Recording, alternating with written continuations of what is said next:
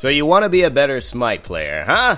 Well, you came to the right place. Today, let's talk about how to be a better Smite player. I'm going to give you five things that I think can improve your game dramatically if you go ahead and practice them. Because, of course, if you just listen to what I'm saying and it goes in one ear and out the other, it's not going to be very useful, helpful, but it will be entertaining. So if you want to do that, please feel free to go ahead. Now, this list is not in order, so just make sure that all of these points are equally valid and will serve you in becoming a better player no matter what. Now, the first way to become a better Smite player is to log every death you have and find out why you died. This is really important, and a lot of people, and especially beginners, just die and die and die and don't think, why, why, why? Why did I die? What did I do wrong? Where was I positioned? Where was my team relative to me? What was the enemy team doing? This will give you so much information if you're able to look at it with a keen eye rather than just getting frustrated that you didn't get a kill or that you died again or the third time in a row. You see, if you pause and look at why you died, died, then you can avoid being in that situation in the future. It's simple. It's like if you go into a restaurant every week, and every week you get food poisoning and you order the same dish. Why don't you mix the dish up, bro? Find something else in the restaurant and see if that makes you sick. If it does, why don't you not eat in that restaurant anymore? It's the same thing. If you keep going in 1v5, you might keep dying, and if you do, you gotta think that this may not be the best strategy. Listen, if you wanna stay a good player, then you're just gonna say, okay, sometimes I die, sometimes I don't die, and that's just it. I'll take the dice roll. But if you're a great player or want to be better, that means you have to look at why you died and learn from that. And this is a real key that I think a lot of people don't do yet, and I want to encourage you to do to become a better player overall. Now, I was a D1 collegiate soccer player and I was drafted to the MLS, and I have to tell you, this will help no matter what situation you're in because even as a soccer player now, if I lose the ball or if someone takes it from me, I don't think that's a win for them and a loss for me. I just kind of look at it as what did I do to create that situation so that I can alter it in the future to give myself better odds at succeeding. Now, another way you can become a better Smite player is to avoid memorizing builds and to build towards your opponent or the situation. Okay, so let's say I give you a god guide and a build, and then you go ahead and use that build in your next arena match and you proceed with joy. Then you go ahead and get annihilated so terribly you want to call your mother and quit Smite altogether. Now, the thing is, that's not necessarily what happened. What happened could have been you stayed with a strict build, the team built around you, and you needed to adjust the build, but you didn't. Now, let's say I have you starting with the rank 2 of Voidstone at the beginning of the game. But all of a sudden, you notice that a lot of their physical damage dealers, including, let's say, Apollo or Bellona, are all up on your ass. So they basically are taking you out without any issue. All of a sudden, you curse the build and say, This doesn't work. I'm 0 and 7. Let me F6. But the problem is, you didn't notice that in the first death, you were getting focused by Apollo and Bellona. That's why whenever I die, I always look at who killed me. Who do I need to build against? Because if they keep doing that, they're going to have a field day. Now, one way you could do this is to build a physical defense item instead of Voidstone first, so that you have that physical defense and allows you to survive longer against the heavy pressure from the physical damage gods. Then, at that point, you can understand whether the magical damage gods are getting the best of you or if you're still getting more of your focus from the physical damage gods, and you can adjust your build further. Maybe Voidstone doesn't even come into play in this build because of the fact that you're being so heavily focused by a physical damage based team that you need to build Witchblade and Hide of the Nemean Lion, etc., etc. Oh, well, uh, Raynday, when should I build towards enemies and when should I just continue my own build, huh? Mickey, I'm glad you asked.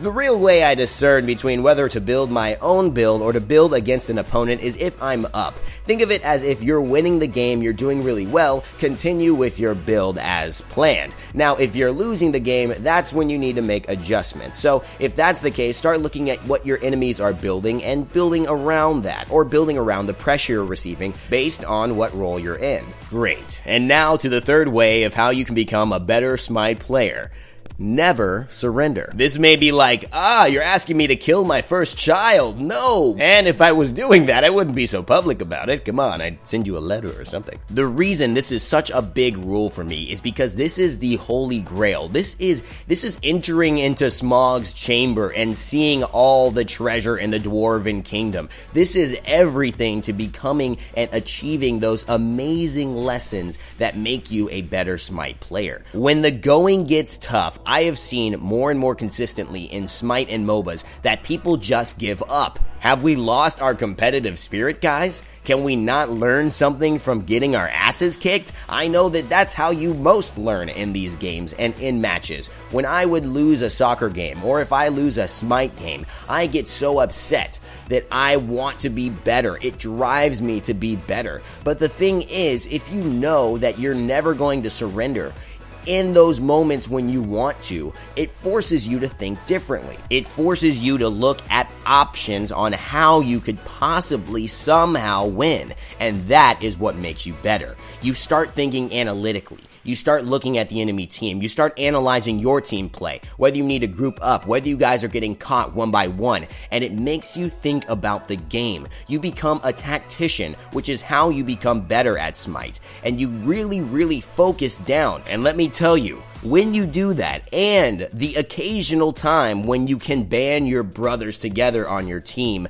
to fight against the enemy team and achieve an unlikely victory, you feel great. And you give yourself a lot more power. You make it seem like, hey, if I really want to buckle down, I can win any game and I can get any team of mine to kind of go the distance with me, even if there are insurmountable odds. So, to me, I have an immense amount of respect for people who, on the opposing team or on my team, decide to band together and not surrender. That's why in Raynstorm it's so cool because when people join the clan, they know we don't surrender. I've never surrendered a game playing with my Raynstorm clanmates, and that's just because they understand this mentality so well that every game is a learning experience for them. If they don't do well on a certain god, they know that, and we talk about it after game. That's one of the great things about being in a clan is that you kind of can set up the culture that you want to operate by. If people start raging, we say, hey, that's not kind of how we do it. Let's bring it back in line. I know you had good intentions, but let's communicate those intentions in another way. All in all, if you never surrender, you open yourself up to miracles and great things that could happen. And you force yourself to play in difficult situations, which eventually will make you a much better player and much more equipped to handle harsh situations in the future. Now, the fourth way you could become a better Smite player is to master one god in each of the classes.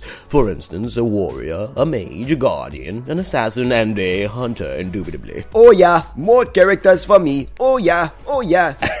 I laugh every time I hear that voice. Oh my god. But really, guys, seriously, it's really about variety. If you can go ahead and provide an honest and good role of a guardian, a mage, a hunter, an assassin, and a warrior to your team, you are going to be such a better player than if you are a one trick pony. I mean, honestly, if you can only hunt or mage, I mean, everyone can hunt and mage. That's that's that's like the entire Smite community. But really, if you can warrior, if you can guardian, and you can assassin as well, that means you're such a better asset for your team at any point in time. And that means that you are a better player overall. So, what I'm saying is not to get good at every single god in every single class. I'm trying to say that just learn one. Get good with one guardian. Maybe it's Ares, and maybe find one warrior you're really good with. Maybe it's Bellona, maybe it's Tyr. And then also find a mage and a hunter and an assassin. Of course, if those are your favorite classes, you can be better with more characters. But what I'm saying is have a go to character that if you get selected for a role that maybe isn't your premier or best role, you at least know the mechanics and how to play that god. There's nothing more frustrating than finally being able to play that hunter role or that assassin role you've been wanting to all night, only to find out that your guardian doesn't even know how to use that guardian. I mean, doesn't even know the abilities, like what they do. That's like getting a reservation at a famous New York steakhouse, only to find out that they're only serving tofu that night. Screw you, restaurant. Screw you. Don't be that restaurant, and don't be that Smite player. Come on, learn one of each role. You will be a better player overall, trust me. Now, the fifth way to be a better Smite player is to stay positive. Now, this means so much to me, and it means so much to my clan at Raynstorm and my YouTube at Raynday Gaming. But I want more people to really understand the value that positivity brings to Smite. I mean, we are at a precipice here, guys. We have an opportunity to make Smite a better place for gamers around the world to come and play. We want this game to be popular. We want it to surpass all other MOBAs around. And to do that, we have to make a place that feels comfortable and enjoyable for everyone to play. And it starts with me and it starts with you by making your clan, your party, a better place to play and treating other clans and other parties and other individual players with the respect that you want to be given when you play the game. I'm talking to the man in the mirror. Uh. I'm asking him to change his ways. Damn, you're good, Raynday. Great job. Hey, thanks, Raynday. I appreciate it. Take care, buddy. Those are the kind of conversations and solo performances that make Smite a better place to play. Not calling someone's mother fat or saying you'll meet them in the park after dark to take them down to Chinatown. I could do a whole video on why raging is really bad for Smite, not only community wise, but financially for its system and its professional players. But I will go and do that for another video. This video, I want to just sum up that positivity breeds positivity. Toxicity breeds toxicity. So, if you want to choose one or the other, I would definitely choose to support a positive gaming community in Smite rather than one that feels a little bit abrasive and hard to join and feel happy in. Let's go ahead and make this the best community we can because we have the power to do it. The only way not to be a better Smite player is to not play Smite. And unfortunately, in a toxic environment, that's what happens. People pull out of the game and they stop wanting to be involved. If you are a positive player, you're going to attract positive people. You're going to attract a positive environment and clan, and really, you're going to set yourself up for a more comfortable situation to fail and have it be okay. To still have that support and not have someone saying you should uninstall the game. It takes making mistakes to succeed in the long run. And if you have a supportive community that helps you to make those mistakes and still feel good about yourself, then you're going to be a better Smite player. Thanks so much, guys, for watching. That's going to be it for this top five. Let me know what you liked about it in the comments section below, and also let me know if you have any other additions you'd like to make to this list to help players who want to become better at Smite kind of get a leg up in doing so. I look forward to reading and replying to all of your comments in the comment section below, and as always, guys, subscribe to the channel to stay tuned for more top fives and other content here at Raynday Gaming. As always, never give up, never stop gaming, and I'll see you guys next time.